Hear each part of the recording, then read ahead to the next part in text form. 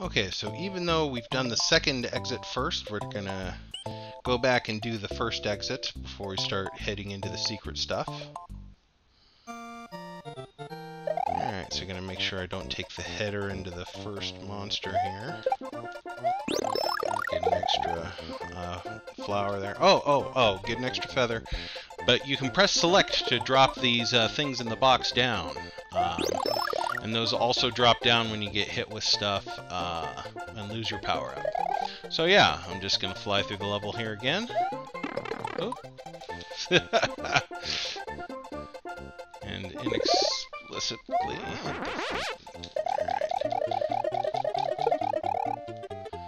Alright. So let's try this again. Get some altitude.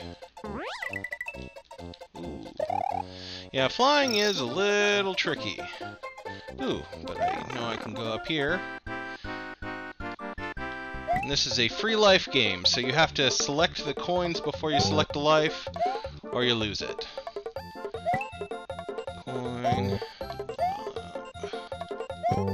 Nope. Nope.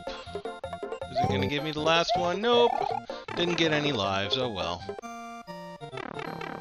I can go back into this tunnel. Get a nice free cape. Uh, so you see the triangle block. If you hit that while you're running, it'll let you run up stuff. And we're just gonna collect some coins here. Not really necessary, just kind of some fun.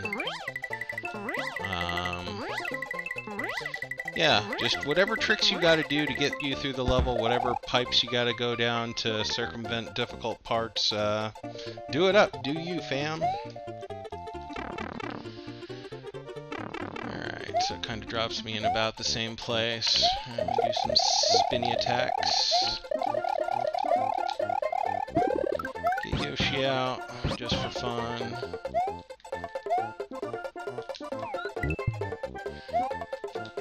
Yoshi eat some stuff. Pop up under that guy.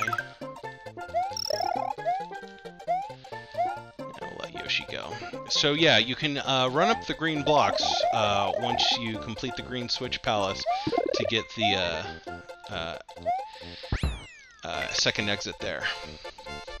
Um, so yeah, that's the first exit, and you'll notice that this is the first bonus stage as well. So the idea with the bonus stage is uh, you want to line up the uh, icons uh, that are alike. And the more uh, uh, alignments that you have of the same type, the more lives you get. So we're going to try to get the stars, but we're not going to do a very good job.